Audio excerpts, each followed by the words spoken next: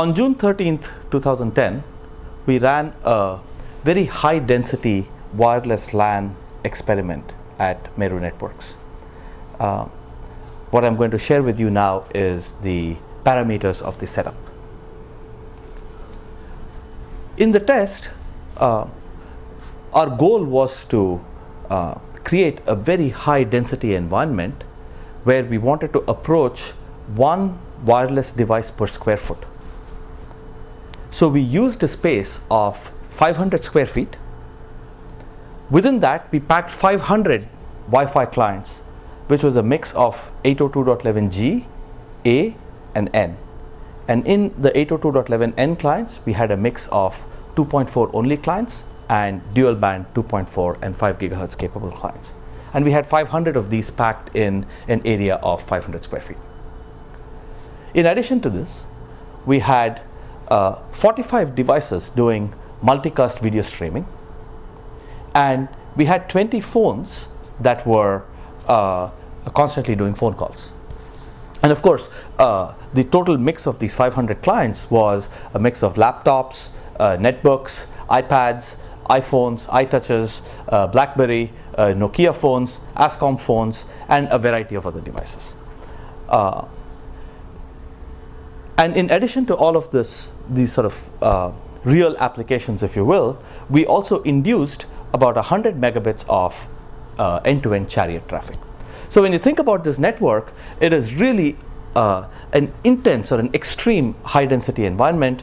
Uh, again, 500 square feet, 500 devices, 45 video streams, 20 simultaneous calls, 100 megabits of traffic.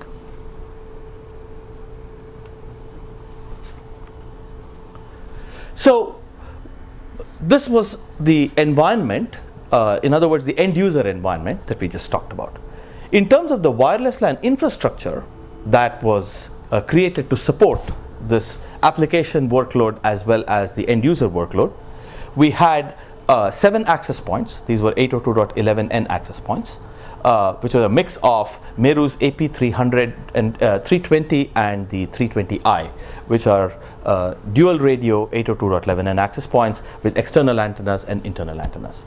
Running our production uh, system director release 4.0 with all standard capabilities and standard features enabled.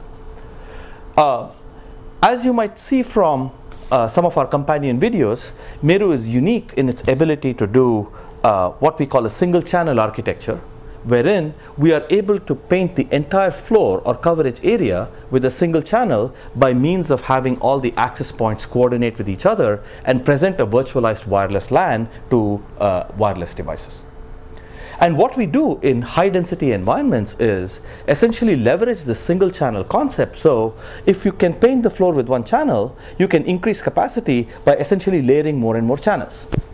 So what we did in this particular environment to support this high density was create four channels in the uh, 5 gigahertz range and these were 40 megahertz wide and three channels in the 2.4 uh, gigahertz range and these were 20 megahertz wide. Right? So we had a total of seven channels.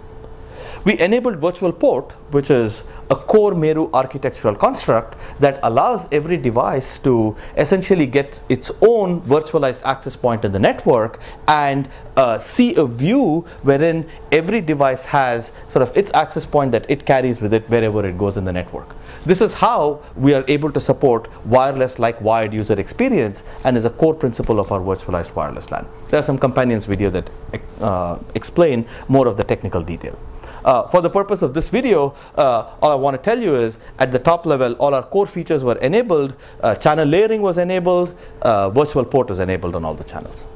We also enabled a feature called band steering wherein uh, dual band devices were preferentially moved to the 5 gigahertz band so that we were able to evenly distribute the load across the bands.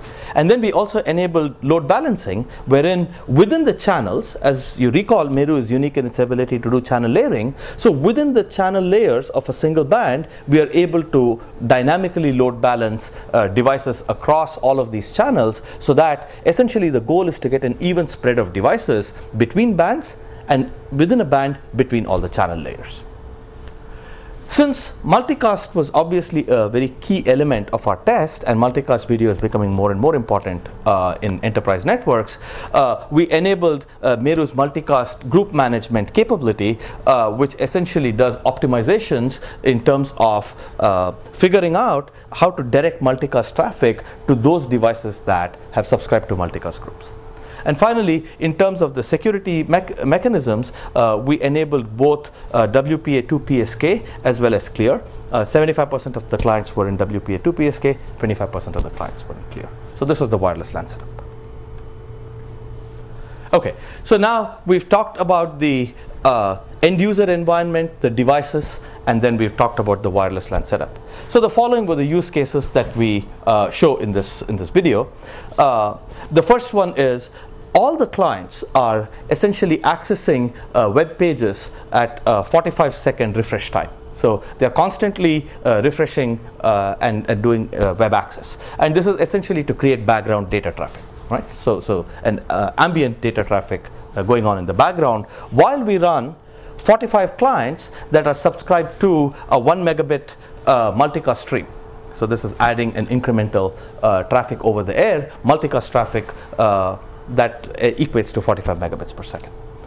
And then uh, we uh, layered on top of that 20 phones that were making G711 client to client calls. Right? And on top of all of this, we added artificial workload, which is uh, essentially uh, running a chariot application, uh, generating 100 megabits of traffic. Right. So the total summary is uh, all devices accessing uh, web pages at 45 second periodicities, uh, 45 clients subs subscribing to one megabit per second multicast video stream, 20 phones doing 64 kilobit per second uh, G711 codec based uh, phone calls and an additional 100 megabits per second of end-to-end traffic. So this is what you're going to see in the network and what we want to show is um, obviously the quality, the density and also in terms of web access, the response time. At the end of all of this, uh, one of the things that we were really interested in uh, is to understand how quickly clients could come back into the network if in fact um, clients came in in a burst.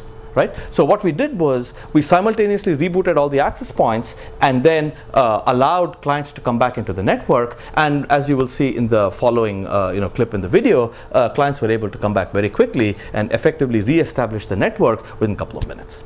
Thank you and enjoy.